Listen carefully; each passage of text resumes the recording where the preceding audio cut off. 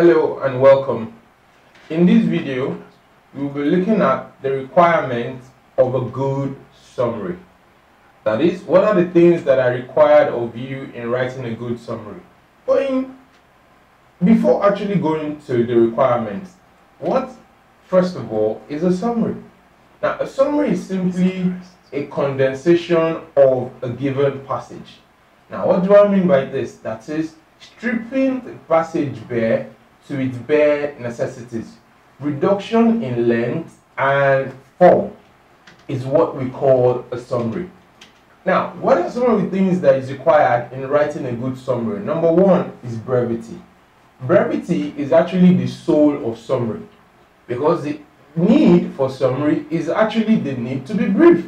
So there is no room for verbosity or loquaciousness when summary is involved. So you have to be very brief with what you are writing. Number two is relevance. Now, if a passage is summarized, whatever it is that may be um, the passage may be whittled down to must still be relevant to the passage itself. For instance, you cannot just cut, let's say, a passage of six paragraphs is now reduced to two paragraphs. Now, that is not a summary because it should not reflect everything in the passage. So please remember that whatever it is that you summarize must still be relevant to the whole passage itself. Number three is satisfactory coverage. Now, similar to that of relevance, whatever it is that you summarize from a particular passage must satisfactorily cover the bulk of what you have in that passage itself. So the key or main or salient points must reflect in the summary. So it should not look like a wishy-washy thing simply because you are asked to summarize. So the, the summary must satisfactorily cover every aspect of the initial passage. Number four is clarity. The summary must be done in such a manner that it is clear enough for people to be able to understand that what you have summarized represents the passage that it was summarized from. So you must avoid words that would um, model up the whole summary writing process. Now note, it is important for you to learn how to paraphrase because quoting exactly from the main passage verbatim will cost you some marks. So please learn to paraphrase, that is, use your own words that are related to what you have been asked to, um, to summarize. And finally, avoid repetition.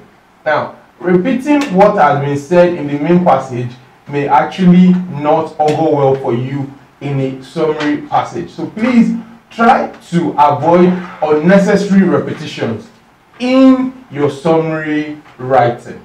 Now we move on to patterns observed in summary writing, especially in SSC summary passages.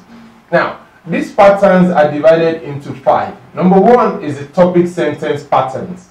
Number two is the section-based pattern. Number three is the listing pattern. And number four is the mixed pattern. And finally, number five is comparison contrast pattern. Now, these patterns would be explained with um, adequate examples. Now, starting with the first pattern, the topic sentence pattern is one, as the name implies, that is based on the topic sentences in each paragraph. Now, note, in writing, every paragraph in English language has a topic sentence. Now, what is a topic sentence? A topic sentence is one that serves like a header for the whole paragraph. In fact, it is the central point that the paragraph aims to talk about.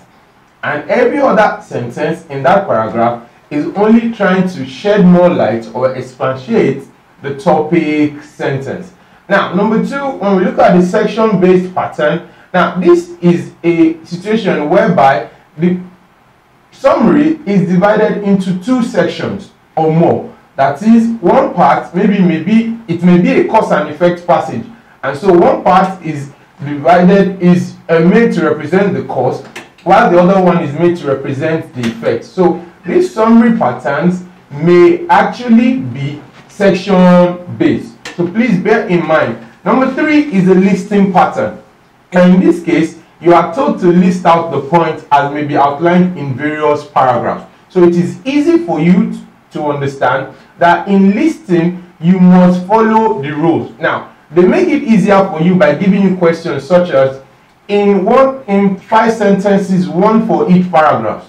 List out the points that have been outlined to back up these uh, assertions. So it is important for you to just know that all you have to do is look at each paragraph and identify the points that is being made or the main point that is being made and paraphrase it in your own words.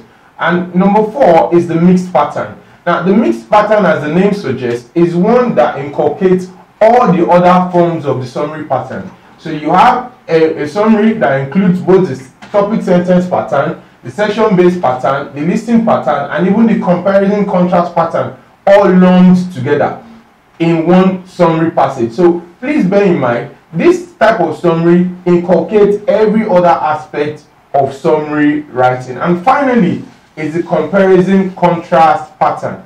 Now, this is often used in an argumentative kind of passage.